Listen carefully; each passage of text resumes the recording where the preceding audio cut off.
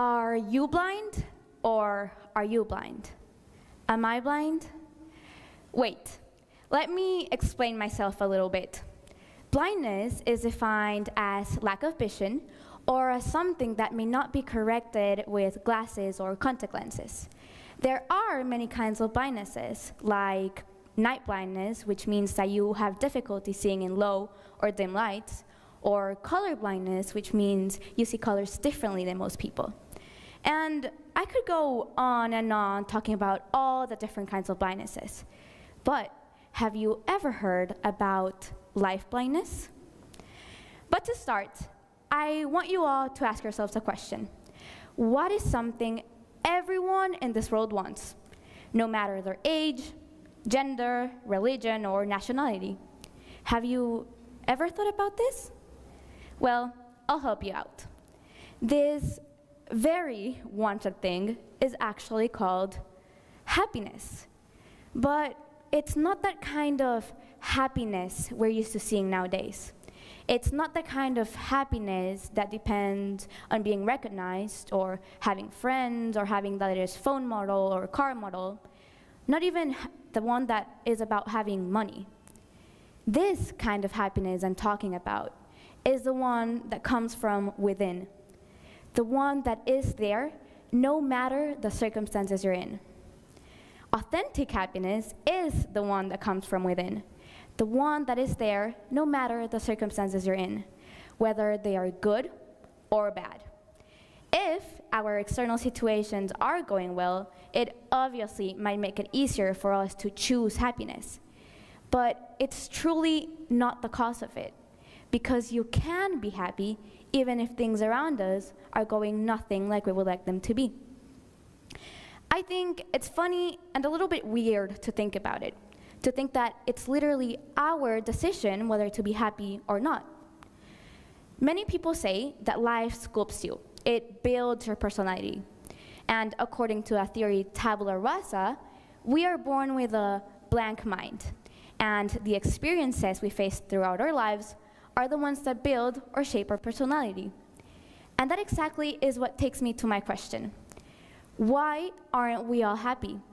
If it's something we can choose to be, even when things around us are going nothing like we would like them to be. Spring is a season that comes before and after two very recognized seasons. And even though I do love those seasons, spring seems to be my favorite one. Because spring is my reminder of how many changes we face through our lives. Some might not be pretty, such as winter or autumn, where the beautiful flowers and leaves are either covered in snow or burned away, therefore leaving the trees with no beauty at all. This definitely reminds me of our personal lives, since it's no secret that life will hit you hard in the face, as the famous poem If I Should Have a Daughter says, which I think it's totally true.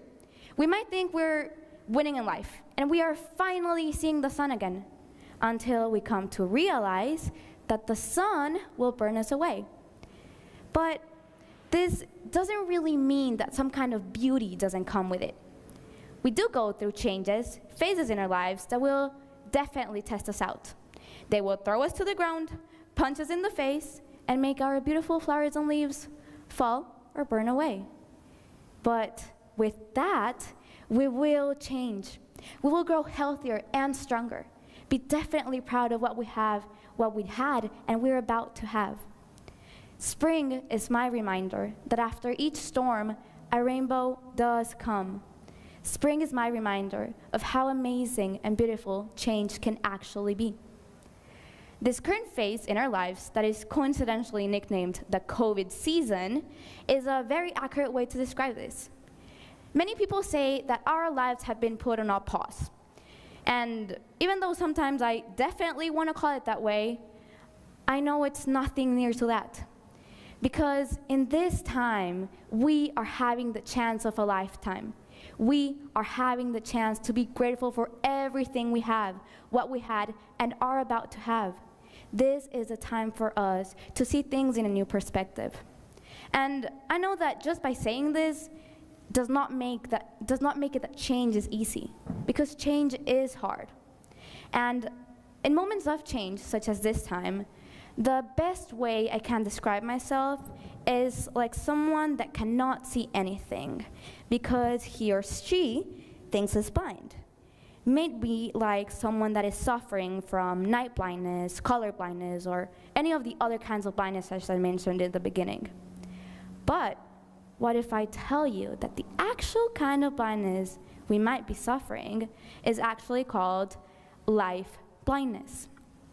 Life blindness is just like having a blindfold over your eyes.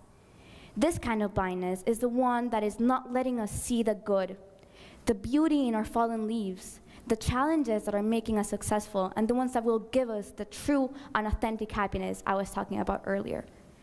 But the good thing about this kind of blindness is that we are able to take that blindfold off. I think it's time for us to stop and think to realize that happiness is truly our perspective and our decision, as it was my decision to take this blindfold off. So now the question would be Are you blind? Are you blind? Am I blind? Or are we just blindfolded? Thank you.